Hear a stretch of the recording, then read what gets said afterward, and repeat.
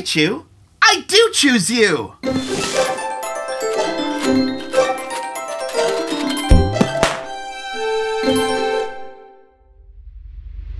What's up, cheeks? Nate here, back again with another fun boxing as part of our Season 2 launch week. I'm so excited for this week's episode, so let's go into the long grass and see what we caught.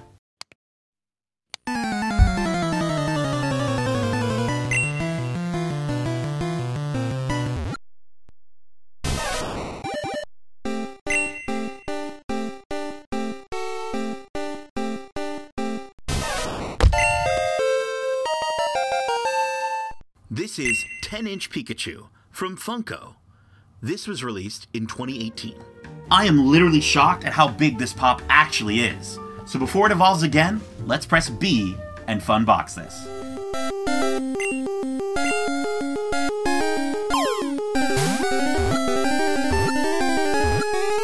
Pika Pikachu? With so many mysteries in the world of Pokemon, we might never know everything about them. So, let's take a closer look, because just like the information found in a Pokedex, it's all about the details.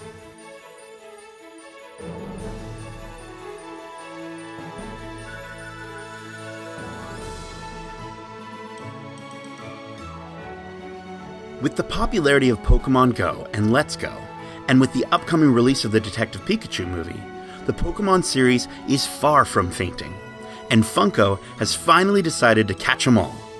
With over 800 species of Pokemon, there is a lot of potential, and Funko has already announced that they'll be releasing at least three more pops, including Bulbasaur. But they've started with the best one of all, the most recognizable face of the Pokemon brand. This chubby electric mouse is captured perfectly with its beady eyes and shockingly red cheeks.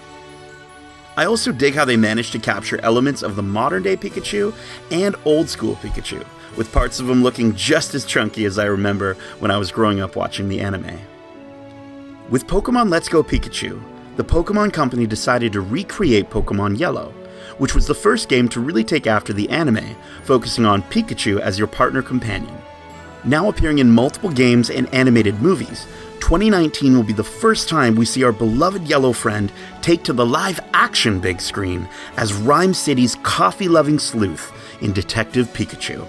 And with this new movie, I'm so incredibly excited to see the new stories and perspectives told within the world of Pokemon. Detective Pikachu hits theaters this summer, and we can't wait to see if it lives up to our expectations of a fully realized Pokemon world, which is exactly what we're going to be examining in our new review series.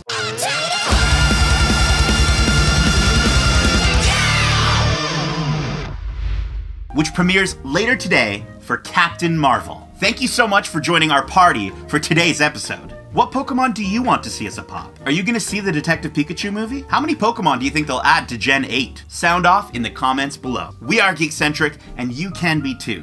So if you like this video, be sure to give it a thumbs up, share it with your friends, and make sure you subscribe, because Season 2 has officially begun. We'll see you next Monday. Love ya. If Professor Oak spent his whole life researching Pokemon, why is the Pokedex empty when it gives it to you? Well, wait, are you writing in the Pokedex or Does the Does the Pokedex- you about the Pokemon? right? So like how does the Pokedex know who put the information in the Pokedex?